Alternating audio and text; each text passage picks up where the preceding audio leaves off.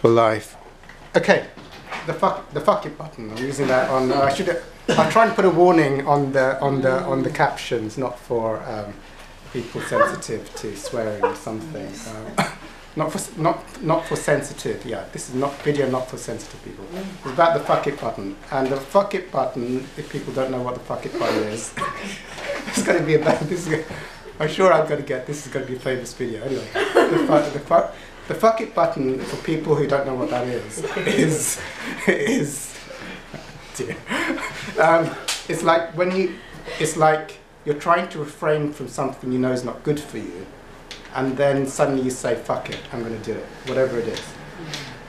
So it's like I make a commitment not to have sugar anymore, not to have chocolates, or I make a commitment not to take drugs, or I make a commitment not to gamble uh, on the lottery tickets, whatever it is and then you're doing a spiritual work, and then one day it's like, oh, I feel like I'm going to press the fuck it button, and uh, and you want to sort of get that oblivion, a quick uh, state of oblivion.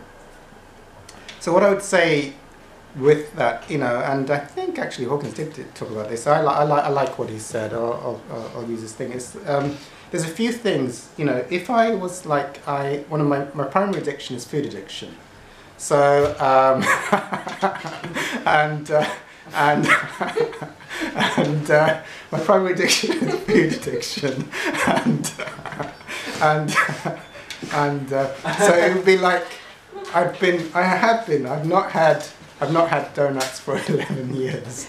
So for me suddenly to have this thing of like, fuck it, would be like, you know, oh, I want to have donuts now. I want to essentially I want to escape from the world by having the thing that I don't I know is not good for me. Uh, so I'm gonna say like, okay, the fuck it button. I'm gonna press the fuck it button. I don't care if I've not had a donut for 11 years.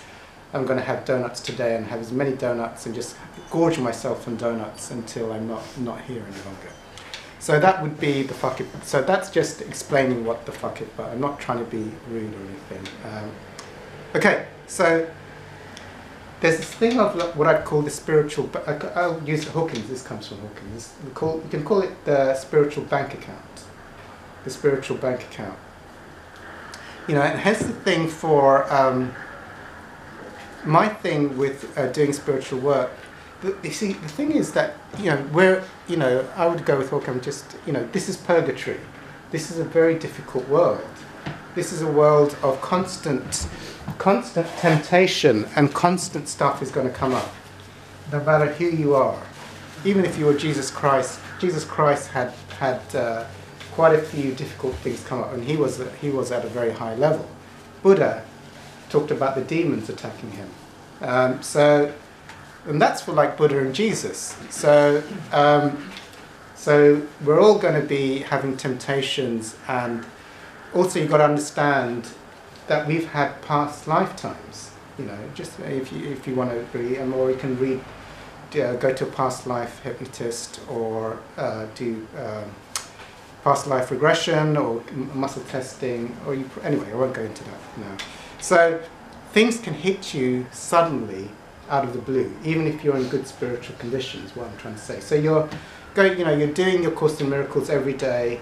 You've been blissed out for the last three weeks and you're doing your lessons every 10 minutes. And then it can suddenly come that uh, it's like your karma, because you're, you're at this level, you now, you know, the, you know, three, you know, if you look three lifetimes ago, you were Genghis Khan, you know, and you ordered that the guys to go and just destroy that village, you know. So that's a lot of heavy karma, and it's like now that you've got to this level, it's now payback time, you know. It's like you're, you're in bliss for three weeks, you're doing the Course in Miracles every 10 minutes, and you're in bliss and you're floating along, and miracle after miracle, and then suddenly it's like, I know, you get beaten up by 10 guys randomly on the street for no reason. And you go, you know, so that kind of thing can happen. Uh, and uh, it's not a nice video, is it? So that kind of thing can happen. And you go, it's not good. That's not a good, good video. Well, it's not a good video if you're wanting a good time. Anyway, so, so, but also, um, So you don't know when stuff's going to come. So you want to be in your best possible place. And sometimes, you know, if you're doing a spiritual work, it is offsetting your, your lifetimes of negative karma. So if you're doing your spiritual work, you know, it's like, oh, you're doing a Course in Miracles, you're, you're forgiving your neighbor who's just, I don't know what they've done. Anyway, they've done something. Forgiving your neighbor, and because you've forgiven them, that means you've just erased, you know, one of your lifetimes of karma. So now if you go like, I've had three weeks of bliss, I'm going to stop doing my Course in Miracles, I'm going to stop the intensity of my spiritual work, you know, then what happens is you might not clear that karma, or when it comes, you won't have enough of a spiritual connection to weather it. And the thing is, you don't know when these, even if you're a good spiritual student, you don't know when something's going to come out of the blue. You know, you, don't, you just don't know. These things can come out of the blue. So even if you think, well, I've, I've been doing my Course in Miracles religiously for the last two weeks, and, uh, and, then, uh, uh, and then I decided to take a break because it's been two weeks, and then something hit me, you know, something hit me hard. So I always feel like if I'm really intense with my spiritual practice, which I usually am, and I still uh, uh, am at the moment, you know, doing the Course in Miracles, doing the Observer, doing the Field of Feelings, you know, in fact, my whole life, I would just say, you know, and it's, I know because I've had, you know, I did go to a muscle tester and they said I had 15 lifetimes.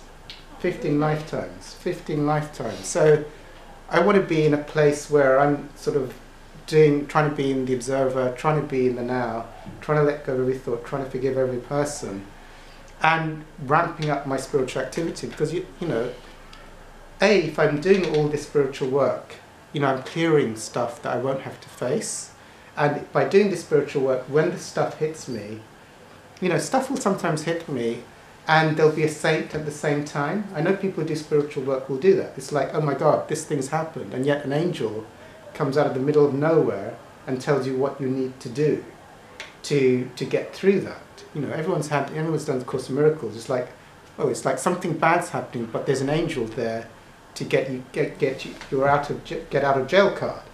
Everyone knows what I'm talking about. If you're not doing any spiritual work, and the, the shit hits the fan, you know, you don't have an angel, or you don't have a miracle to get you out of jail card uh, when that happens. And so one of the ways of undoing karma is to go through it raw without any help. You know, and that's the thing I wouldn't want to do. So it's like, you know, the more I can, you know, for me just to be in the observer, just to have the highest level of consciousness is a blessing. It's a blessing, that light goes out. And it's also offsetting my karma. Or if I still have to face my karma, there's usually an angel or a thing. And I've had so many times. I remember once in the early days, I was having one of my operations to do with my transplant. And uh, this is true, you know. And I was doing 12 step work. I was trying to of service to these people in my 12 step group. You know, I was trying to be helpful. I knew that would offset my karma, karmic load. And I remembered, so that this, you know, anyone who knows cannulas, you know, when they come with the little thing and they stick it up a, up a vein, and some of them are like magic, and some of them don't know what they're doing. Mm-hmm. And uh, anyway, I don't know if people know it. So they grab this needle and they go, "Oh, we need a vein." And they just mm-hmm. stick it in, and and you don't know is this going to be a person who knows what they're doing, or is this going to be a person where it's like, "Oh my God, she this, she has no idea what she's doing." This is excruciating, you know. And uh, so I had this nurse come in. She was one of the ones that doesn't know what she's doing and it was like just he plunged it in. It was I felt it all the way go in, and it was like in absolute agony. And uh, and uh, and then I was feeling this horrific pain, and this is true uh, as I remember it.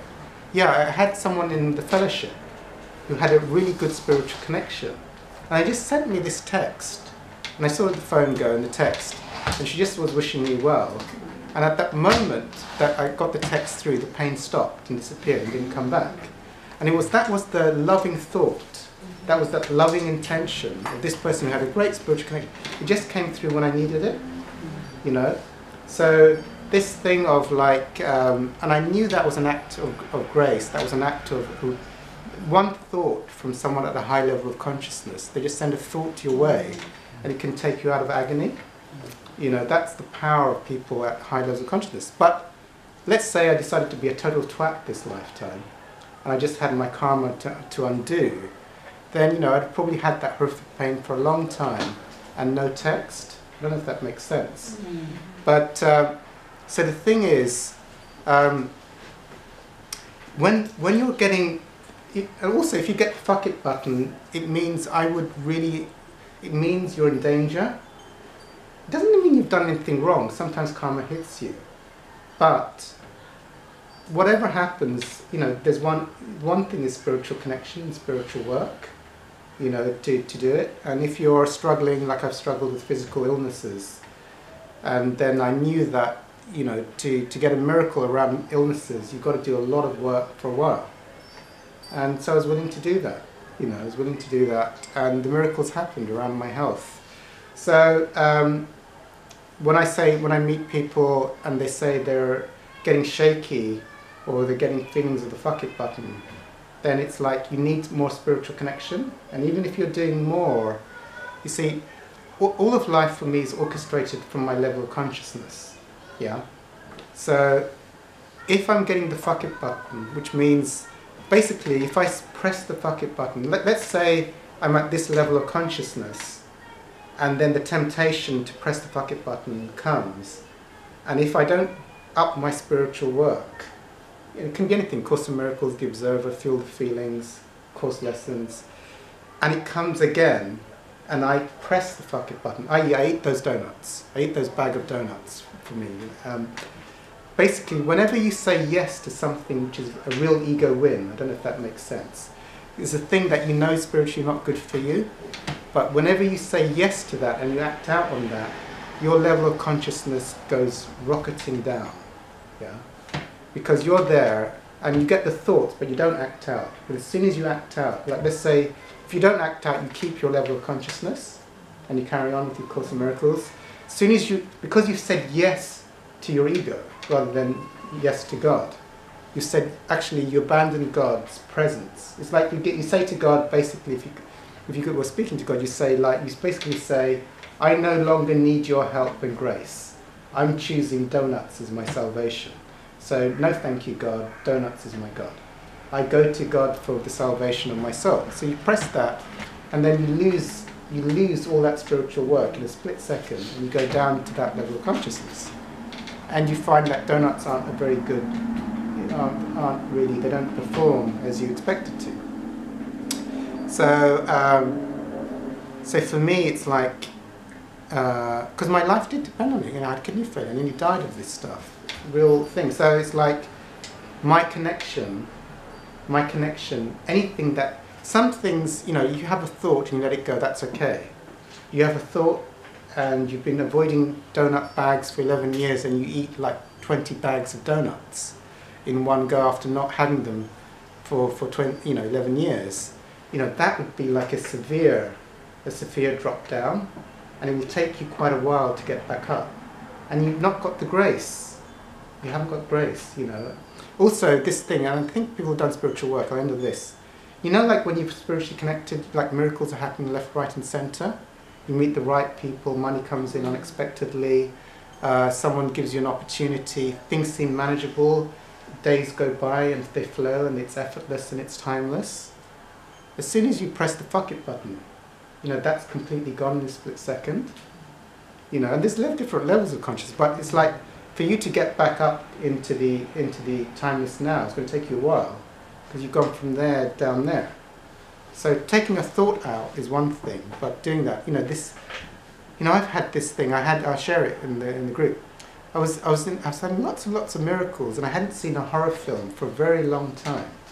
You know, I hadn't seen a horror film because I know that you know, you know, like if you're going to watch, uh, if you're going to listen to Pachelbel's Canon or Hawkins, that's way up there. Uh, but if you're going to watch a horror film, you know, and I was used to like lots and lots of miracles happening throughout the day, and then my ego goes like, "Go on, go watch this horror film." yeah, so I just put it on. And it was like having a blissful day. So what? Just before I went, just before I went, just before I went to bed. So there was all this murder and blood everywhere for a couple of hours. But you, you know, probably, you know. So the ego really was like, it got into that, you know, hypnosis of the film. I really got involved in that film. There's lots of drama, and lots of horrible stuff. It's a horror movie. And I, and I went to bed, and the next day, everything went wrong. Hmm. It's like, you know, the buses weren't arriving in time, people were grumpy towards me, I was being grumpy towards people. And I'd been feeling in this state of like connected miracles for a long period of time. And it was such a shock, you know. And I say this um, if you've been in a state of unending miracles for a period of time and you lose that, you know, if you're in a bad place and you still stay in a bad place, you don't notice it. It's like, I feel crap, I had a bag of donuts, I still feel crap. But if you've had a period where you're in a really high state, you know, where miracles are happening and you're in the timeless now, and then you suddenly do something, like for me it was watch a horror movie, then you, you go from there down there, and it's like the contrast is so. And since that time, I've not watched a horror movie. You know, and even if I get the glimpse of a thought, like watch a horror movie, which can happen, it's like I remember that day, the drop. I remember the drop was so horrific. You know, and I'm not saying that other people can't get away with enjoying horror movies. Maybe that sounds wrong. I think there was a time where I could watch horror movies and eat donuts every day, and I wouldn't notice anything. But now, if I, if I personally watch a horror movie, I'm not saying don't watch horror movies. I'm not telling, telling anyone to do, but I just noticed on the next day what it was like. Is what, what I'm saying. What that was was a thing of like I'm not recommending the fuck it button. That's basically this, video. Um, don't recommend it, but if you want to, you can get your own experience.